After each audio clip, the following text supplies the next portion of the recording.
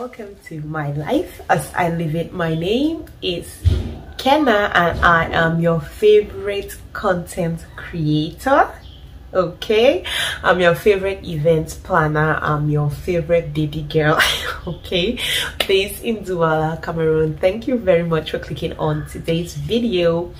So, on my last video talking about weddings and events and all that i had asked you guys like how many of you actually would want me to see how to make weddings more interesting? And everybody was like me me me. And i'm like oh my god you people like you, you people like you people like free information. Everybody was just like me me me me.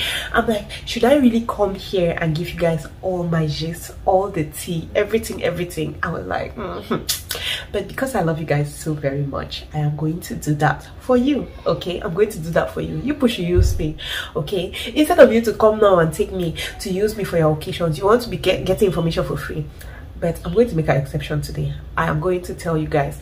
But please after giving you my magical information eh recommend me to your friends recommend me to your family not just for weddings for any event any event whatsoever we can make it work so let's dive into the video. As i said i'm going to be telling you what makes a wedding more interesting how to make your wedding more interesting. And the very first thing i'm just going to tell you is that please so engage your audience okay?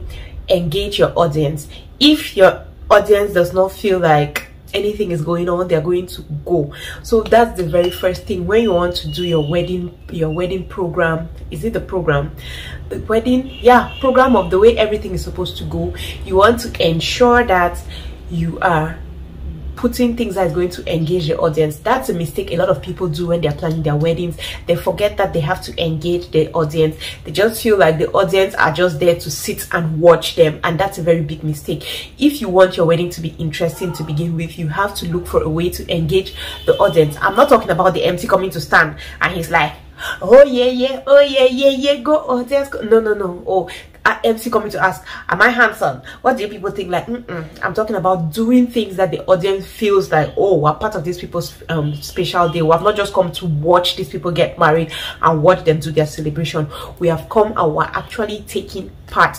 Okay, so the first thing is create an aperitif table what is an aperitif table? An aperitif table is just basically that table that has some snacks it has drinks different drinks and you want to get a bartender who can do that. It's okay. Some people be like oh i don't have money. If you don't have money to get a bartender you have that one if you and you have one person in your family that is trusted that you know the person can handle those drinks to serve people because I will not advise you to do an aperitif table and then you just leave it that everybody should just come and serve themselves except you have so so so so much money. But if you don't have money eh, you're doing a wedding on the budget and yeah you want to try to get somebody who is going to serve the drinks. You want to get somebody that will stand there to serve people their snacks when they come just do something like in most weddings these days you see it but some people are not still doing it. That's why i'm, I'm insisting. You want to put um, an aperitif table that is open all night long. Yes all night long. Okay on that table you just put like a canopy outside. It has drinks there. It has um it has like snacks and everything so that people while they are first of all waiting for the couple to come because we have that bad habit of keeping the uh, guests waiting. While they are waiting they're drinking they're taking snacks there they're just discussing. It's more like a cocktail party before getting in. That's the first thing i'll tell you. And sometimes if the drinks there are they keep coming and coming and coming it's okay. You can just while they event is going on some people who are bored can just go there take a drink hang out chill a little before coming back into the hall. So that is the first thing i'll tell you. I know some people come and be like ah but people be going out. It does not matter. You want to keep your audience entertained and engaged. So that is going to keep them. Just the fact that they know that they have enough drinks is going to keep them. Get a comedian. Yes people do this at their weddings but some i've gone to some weddings and i'm seeing like comedians making really dry jokes i beg you. Because there i went to a wedding and the comedian was so annoying. I felt like he was picking on women. I was like what what is this one doing what i could not wait for the man to finish talking you want to get a comedian and ensure that the person probably talks with you probably tells the jokes or does something like that something like does a little show for you before you use him don't just hear that ah this uncle oh, he's very funny you just carry him and then you feel uh, mm -mm. you always want to double check because when i went to the wedding i honestly felt insulted like that comedian there was a no-no for me. He was being he was being how they say it? He was just being anyhow insulting women. I hated it. So you want to ensure that the comedian runs his jokes by you and you ensure that okay this is not going to be something that is going to make my audience feel like ah what is this man talking about? The next thing i'm going to tell you to do is to ensure that there are games. Many games games games okay? Games keeps your guests entertained. It makes them feel involved. Like not just games between only like the bridesmaids groomsmen the bride and no games between everybody like games that everybody is included. You could do something like a scavenger hunt. Okay you call like oh 10 ladies from the crowd and they come and you've probably hidden a gift somewhere and you're like okay the first you try to eliminate one by one. When the ladies come and they stand you're like okay the first person to get a pink high heel shoes.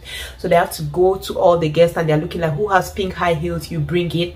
Okay you're up for the next round. The person that does not find or the last two people are kicked out. You look again. The next person to bring a bow tie for example they rush they get a bow tie. The last person or the last two people are kicked out. Just like that. And then at the end you ask the last two people to look. Okay you could have put let me say a box of candy on any of the tables. Or you would have put 5k on any of the tables in a box. And you're like the first person to find 5k in a box. They go all but table by table. Like that keeps people laughing. They're entertained at the way the people are hustling to get it at all that. You get that is one game. Next thing i'll say is the mc could talk to the couple. And then write quotes about them or talk to the groomsmen and bridesmaid, bridesmaids and write quotes of things that the couple has said. Okay if like let me see something that I always say like I chop life for a living okay? They could just write that down. My husband is always saying oh fine man and fine man for example. They write all of those down right? Write like five or ten quotes from the bride or the groom right? After they have written all those the MC now is going to take those quotes and explain to the crowd like okay who must have said this? Is it the groom who said this or the bride? And then the crowd is going to guess or people you could pick with people one by one to guess. Okay so he'll be like okay who said i chop life for a living? And somebody in the crowd will guess is it kenna or is kenna's husband? You get it's really fun get like very interesting quotes that they say or very interesting things that they always say just to keep the keep the crowd laughing and having fun. Okay the next thing i'll ask you to do is play the shoe game. Okay and to make the shoe game more interesting i'll tell you that it should not only end with the couple. Okay it's always interesting. You could use like two couples like the newly wedded and then if you have like a couple that has stayed in marriage for like 20 years and above you get them from the crowd and ask them to play the shoe game too. So the couple can play the shoe game and after they are finished playing you try now um an older couple to do the shoe game so that you see you can see the differences like after all these years do these people still know each other properly or it's a learning process every day? That is also another one that is always so fun. I enjoy shoe games. Some people are like oh my god they've overdone the shoe game but no as long as i'm going to weddings and i'm seeing different couples doing it it's so nice I enjoy a shoe game even more when after the MC has asked all the questions, they now move and they're like okay people in the crowd five questions five people in the crowd should ask questions. It's always so next thing is this one people do it a lot. You can hire a musician to come and perform a popular musician to come and perform. That way people are like oh my god i came to that wedding and i saw a superstar. Okay if you have money if you don't have money it is okay. Don't sweat it. You could also do a playback like the groom and the bride could actually do a playback okay? They could practice moves and then come and do a playback with their bridesmaids their groomsmen and all that people that one is always so so very interesting guys. Please ignore my kids crying in the background. I'm really hearing my husband. He's really trying to make them stop noise. Anyway that Another is thing that is in almost all events I go to these days is a photo booth.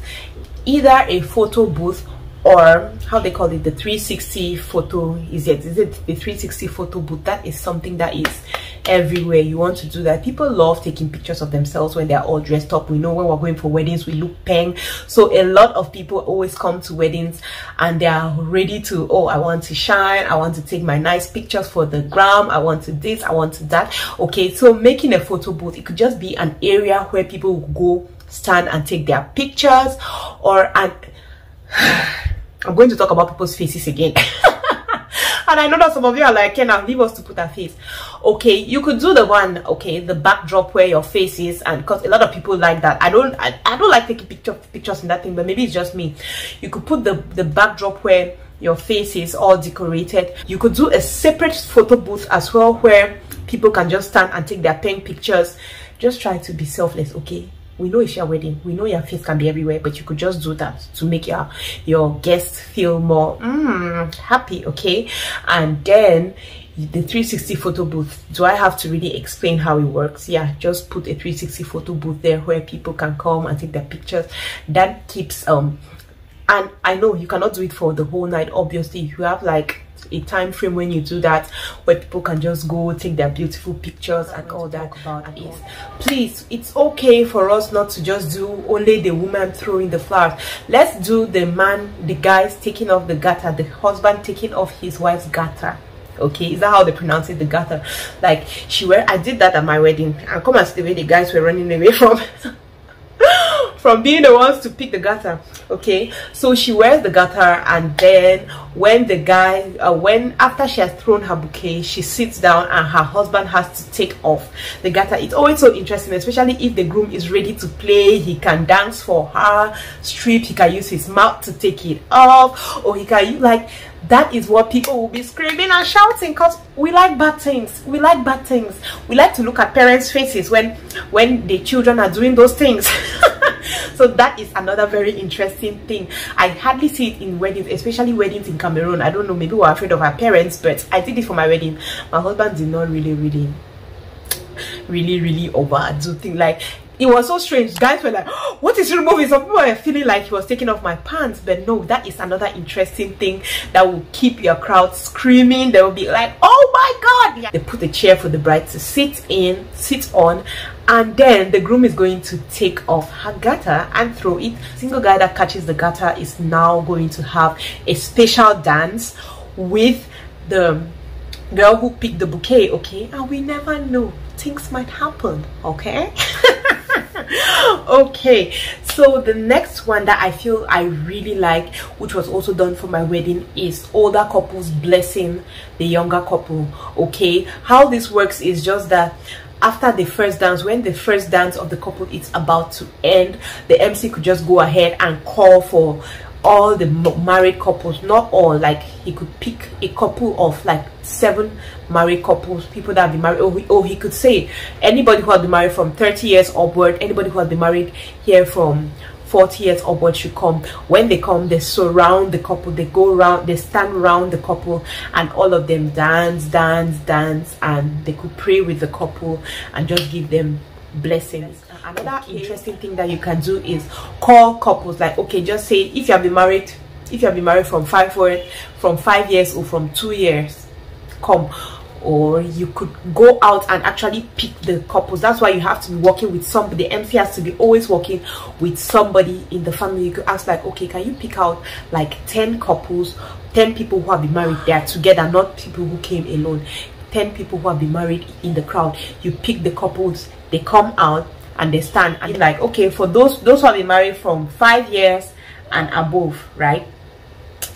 So the younger people who have married five years below they go and sit down. Those who have been married for 10 years and above those below go and sit down just like that till you meet till you get the oldest couple. When you get to the oldest couple now you give them the mic and ask them okay give us interesting tips about communication communicating in marriage about anything like choose any interesting topic and give the microphone to the couple and ask them to explain how they make it work in their marriage. Those are the things that will make a marriage a, a wedding really really interesting.